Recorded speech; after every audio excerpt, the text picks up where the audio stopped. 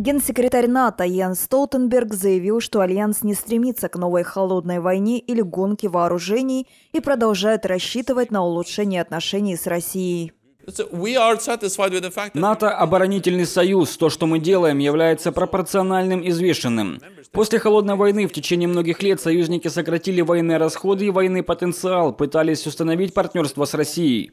В то же время Столтенберг сообщил, что руководство НАТО поддерживает наращивание военного присутствия США в Европе. Мы приветствуем планы по дальнейшему наращиванию американского военного присутствия в Европе, как в виде личного состава, учений, так и техники. Это побуждающий фактор для европейцев делать больше.